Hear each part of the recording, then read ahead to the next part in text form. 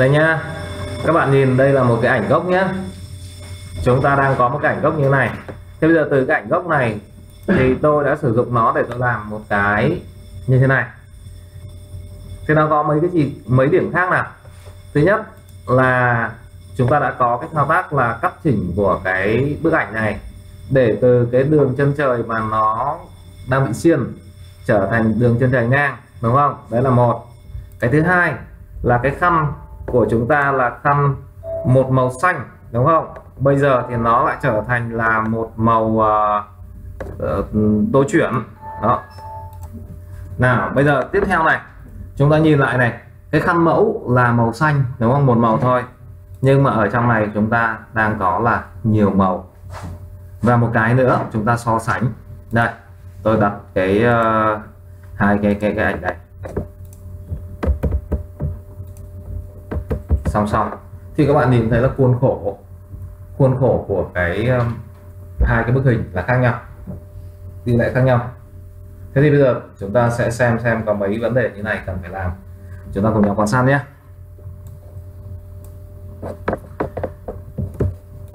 Trước hết là nói về cái điều chỉnh độ ngang.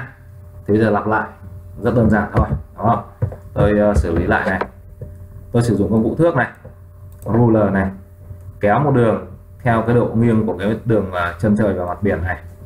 Đó. Sau đó thì nhấn vào nút Triton layer. Lúc đó, nó đo được và nó đã đưa cho chúng ta về chiều ngang. Đấy là cái được đầu tiên. Đó. Tiếp theo là tôi sẽ phải xử lý những cái đoạn mà nó bị lộ phần trong.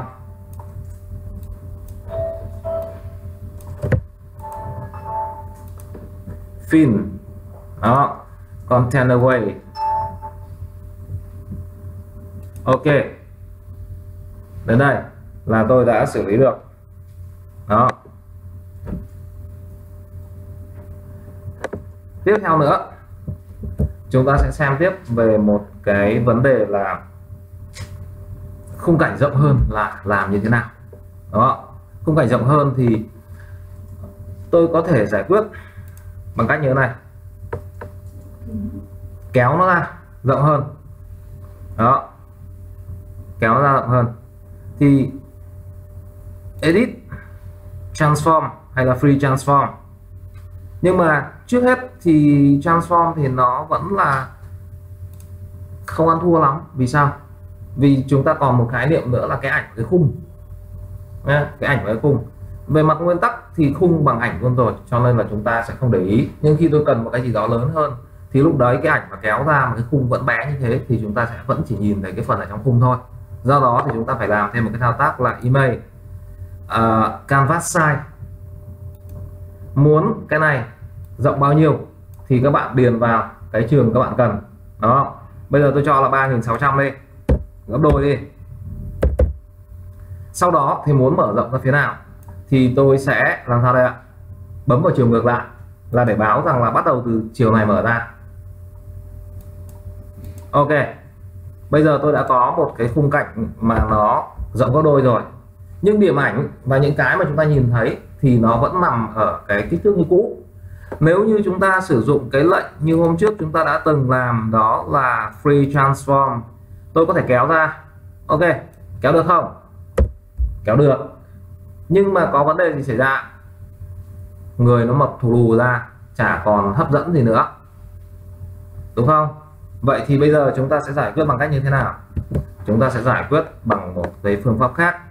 Trước hết là tôi muốn là khung cảnh rộng ra. Cái vải này có thể rộng ra theo khung cảnh cũng được, nhưng con người thì nó có cái tỷ lệ của nó rồi. Do đó, nếu muốn làm chuẩn thì chúng ta phải xử lý bằng cách là vẽ ra cái vùng chọn để chúng ta yêu cầu chương trình đó bảo vệ cho cái đối tượng này sau đó, tôi và các bạn mới lưu cái vùng chọn lại bằng cách là vào select, vào shape selection. Các bạn có thể đặt tên hay không đặt tên thì tùy. Đó, nếu đặt tên thì nó sẽ có tên theo cái cái tên chúng ta đặt. Còn nếu không thì nó sẽ đặt là alpha 1 alpha 2 gì đó, alpha channel 1 alpha channel 2 gì đó. Bây giờ tôi nói là người đi. Ok, xong. Hủy bỏ vùng chọn đi, Ctrl D. Đến đây tôi sẽ dùng một cái lệnh tương đối mới của Photoshop đó là lệnh. Thế đây ạ. Content away scale. Và bây giờ tôi sẽ mở cái vùng protect này lên. Tôi đánh dấu vào cái vùng chọn mà tôi vừa mới lưu, có tên là người. Bây giờ tôi kéo này. Thì các bạn thấy là sao ạ? Về cơ bản là cái vùng hình ảnh này, nó có thay đổi nó rộng ra khăn nó cũng dài ra nhưng mà làm sao lại? Người là nó bảo vệ được cái tỷ lệ.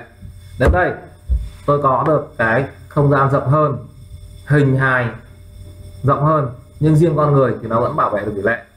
Và cuối cùng thì chúng ta giải quyết thêm bằng một cái thao tác là làm sao đây ạ? Chúng ta chọn công cụ quick selection. Bắt đầu kích vào.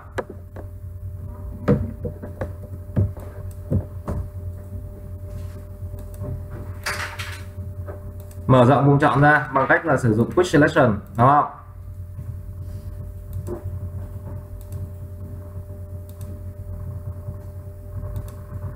Chọn hết cho tôi cái phần vải đấy đi.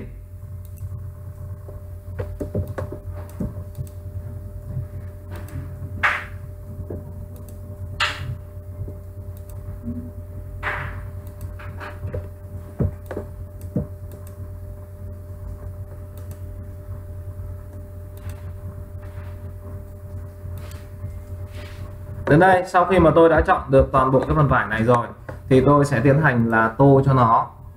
Đó tô cho nó ở đây thì chúng ta chọn công cụ này chúng ta chọn màu này và bây giờ tô thử nhá. Bình thường ra các bạn sẽ thấy rằng là tô nó sẽ như thế này. Màu vào nhưng mà nó sẽ bị mất mất hết tất cả các gì đấy, ạ? Mất hết tất cả các cái nếp vải vốn có. Vậy thì tô như thế này thì không được. Muốn tô được như là trong hình mẫu của tôi thì các bạn phải chuyển đổi cái chế độ tô màu thì vẫn là màu đó, nhưng chế độ tô thì chúng ta lại phải chuyển giúp tôi sang một chế độ khác normal. Đấy, khác normal. Ở đây nó sẽ tiếp xúc với một cái khái niệm là khái niệm blending mode hay là chế độ hòa trộn giữa các layer hoặc là chế độ hòa trộn của mẫu tô. Và chúng ta sẽ có rất nhiều kiểu ở đây. Tuy nhiên, một trong các kiểu để mà đảm bảo rằng là màu vẫn vào và vẫn giữ được ừ, cái màu gốc cũng như là các cái um, đậm nhạt để mà hiển thị cái nếp vải thì chúng ta sẽ để ở chế độ color. Và bây giờ tôi tô. Thì các bạn sẽ thấy là gì đây ạ? Màu mới vào nhưng mà nó vẫn làm sao? Nó vẫn duy trì được các nếp vải. Đó. Hủy bỏ chọn đi. Đây chúng ta cùng nhau xem lại xem cái uh, khác hay là giống của hai cái hai cái khung hình. Đó đến đây nếu cần rộng lên nữa thì chúng ta lại mở rộng cái phần trời lên nữa thôi. Đấy. Thế thì về mặt cơ bản là chúng ta đã làm được cái thao tác là gì đấy ạ?